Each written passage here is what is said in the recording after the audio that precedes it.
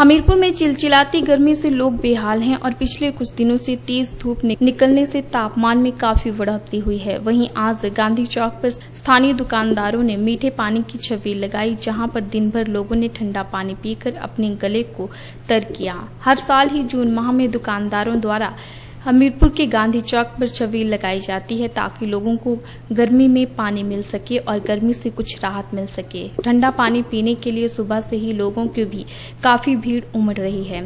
पिछले तीन चार दिनों से बारिश नहीं हो पाई है, जिससे गर्मी ज़्यादा बढ़ रही है। इस तरह बाज़ार में ठंडे पानी की छबील लगाने से लोगों को पीने के लिए पानी मिल रहा है और लोग ठंडा पानी पीकर राहत महसूस कर रहे हैं।